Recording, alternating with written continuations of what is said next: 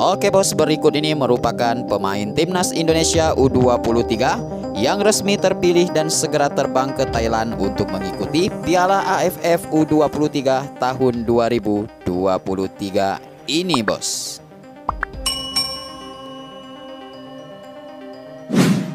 Ya, timnas Indonesia U23 yang diasuh oleh Sintayong akan mengikuti kompetisi Piala AFF di Thailand tepatnya pada tanggal 17 hingga 26 Agustus 2023. Sebelumnya Sintayong sudah melakukan pemanggilan 23 pemain untuk mengikuti pemusatan latihan di Jakarta.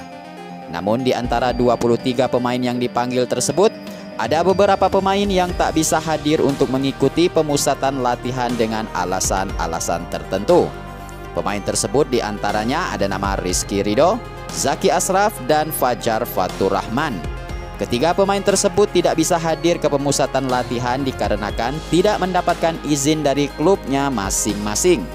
Kemudian Sintayong sudah memutuskan untuk mencoret tiga nama pemain tersebut. Dan Sintayong pun sudah mendatangkan tiga pemain baru sebagai penggantinya yaitu Haikal Al-Hafiz sebagai pengganti Rizky Ridho, Muhammad Kanus sebagai pengganti Zaki Asraf, dan Titan Agung untuk menggantikan Fajar Fatur Rahman. Adapun pemain lainnya seperti Alfa Indra Dewangga sebelumnya telah dicoret atas cedera yang dialaminya. Namun setelah mengetahui cedera pemain tersebut tidaklah terlalu parah dan akhirnya Sintayong pun memutuskan akan tetap membawa Alfa Indra Dewangga untuk terbang ke Thailand. Sekedar informasi, Timnas Indonesia U23 telah dijadwalkan akan terbang ke Thailand pada hari Senin tanggal 14 Agustus 2023 ini. Dan berikut ini merupakan daftar pemain yang akan segera diberangkatkan ke Thailand untuk berjuang di Piala AFF U23 tahun 2023 ini.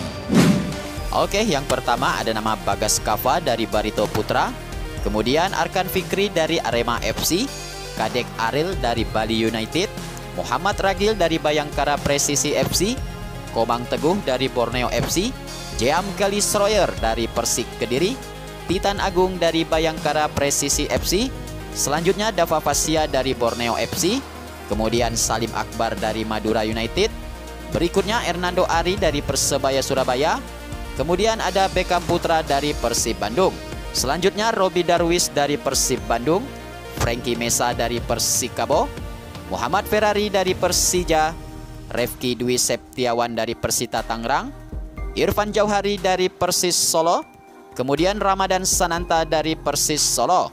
Berikutnya ada nama Abdurrahman dari Rans Nusantara, Esal Syahrul dari Persita Tangerang, Alfa Indra Dewangga dari PSIS Semarang, kemudian ada nama Muhammad Kanu Helmiawan dari Persis Surakarta, berikutnya ada nama Haikal Al-Hafiz dari PSIS Semarang, dan berikutnya ada nama Agus Nuri dari klub Persis Solo. Oke teman-teman semua bagaimanakah menurut kalian? Apakah dengan pemain-pemain tersebut timnas Indonesia akan menjadi juara di Piala AFF 2023 ini di Thailand? Tuliskan jawaban-jawaban Anda di kolom komentar sebagai tanda bahwa Anda mendukung dan cinta timnas Indonesia. Oke, semoga bermanfaat dan berkah. Salam Pontianak Sport Channel.